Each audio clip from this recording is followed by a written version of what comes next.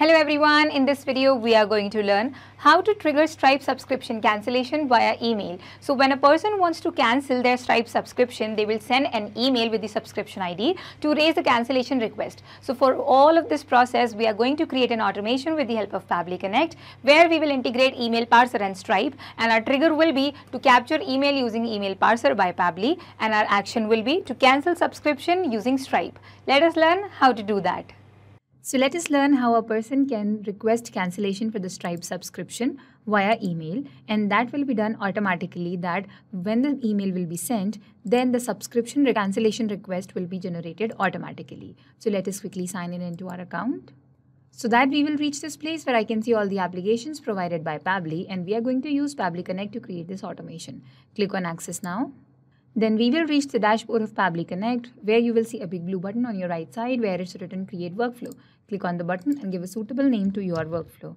I'm going to name it as Trigger Stripe Subscription Cancellation via email. Click on create and then a blank workflow will be created for you like you can see on your screen.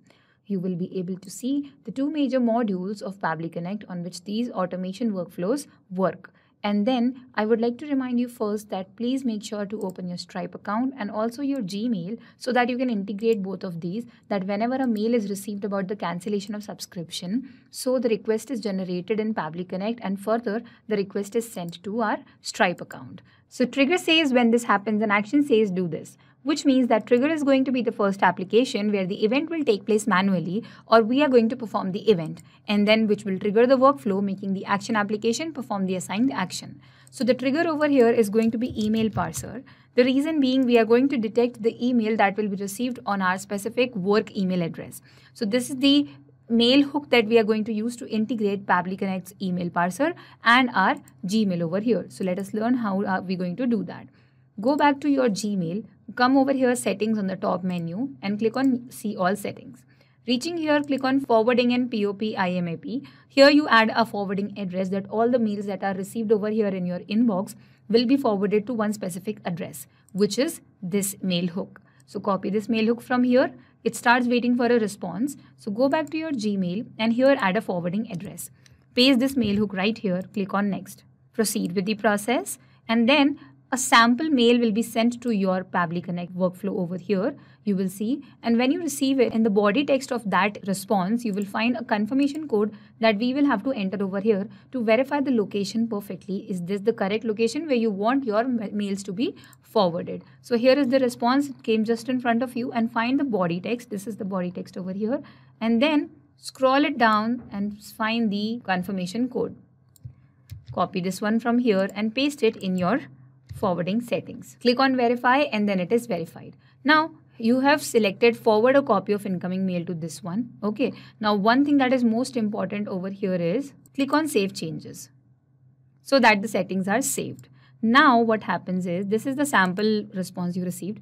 Recapture email parser response and now it starts waiting for a sample response that you actually need for your Stripe subscription cancellation. So now we are going to draft a sample mail that will be sent to this specific email address of our Gmail but in turn it will be forwarded here as a response. So here I have already opened my composing of an email. I will enter the email address where I want to send the mail the subject will be cancelled because we want to make sure that the email is filtered by this. If all the emails are going to be sent to Pabbly Connect, then it will be a confusion which subscription needs to be cancelled. But we are giving a proper, very specific subject over here that is cancel Stripe subscription. So that all the emails having this subject will go in the process of cancellation of subscription. And here I will provide my subscription ID over here the subscription id you have will you will be receiving that an email when you created the subscription for yourself. Now since this is done click on save and send and the message is sent. Let us go back and see the response. And here we are still waiting for a response. Do not worry the response will be received soon. And this is the sample response that we received earlier. So close this window and wait for the response for the email that we just sent. And here is the response you have received. See this is the one and when you come over here to your body text, you will find your subscription ID. So we are going to use this subscription ID to locate our subscription and then cancel it. But now we need to put a filter to our workflow so that only the cancellation subscription subjects email are sent over here for the process. So let us put a filter. This filter is a feature that is built inside Pabbly and it will make sure that continue the workflow only if the given situation that we are going to provide over here is satisfied. So select from here our subject which is cancel Stripe subscription should be equal to obviously cancel Stripe subscription. Make sure the spelling is correct so the filter works perfectly forever. Click on save and send test request and then you will see the status says success and the condition is true, which means the email that we received right now in our trigger response ha is having the subject cancel Stripe subscription, which means this subscription ID that we have received in the mail body will be used to cancel the subscription. Click on this plus button and choose your application as Stripe over here. Then the action event will be to cancel a subscription. Now before connecting, make sure you go to your Stripe, come over here to billing and then here you will find subscriptions. See you have one subscription over here and once we are done with the workflow and we click on save and send test request in our last step, you will see that this subscription will disappear because it will be cancelled. So coming back over here, click on connect add new connection and you will be needing a token to connect your Pabbly Connect and Stripe so that you can transfer the information from the trigger application to your action application. So you have to go to developers and API keys. If you want to follow steps, then okay, fine. Otherwise, you can simply click over here API keys. It will straight away take you to your account. Here you will find developers and here you will have API keys. So you have to create a key over here. Give a key name. This is my key name. Click on create and then a token will be generated for you. Copy this token and paste it in your workflow. Click on save and your connection will be established. Now your Stripe is connected to Pabbly Connect and now you have to provide a subscription ID over here. So click on this map, activate the map button, erase this one because you have to map it from the email response. Because every time a new email will be sent, there will be a new subscription ID and that has to be mapped over here. So from here, search for your body of the text. This is your subscription. Okay, this is your subscription ID. Click on save and send test request and then you will see that you will be receiving a response which says that the cancellation has been requested.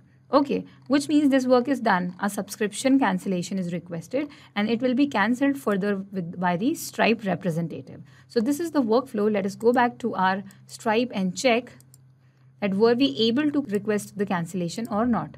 Coming back to subscription, you see it was there and it disappeared just a while ago, which means that the subscription has been cancelled or it has been shifted to this list where you want to cancel the subscription. So this was the whole workflow. I hope this helped.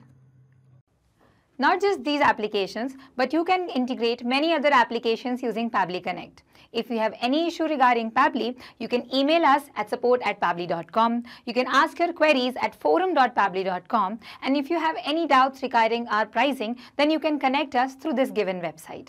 If you found this video helpful in any way, then make sure to share this with your friends and colleagues to make their life easier by creating automations. We will meet in the next video. Till then, do not forget to like our video and subscribe to our channel. Thank you.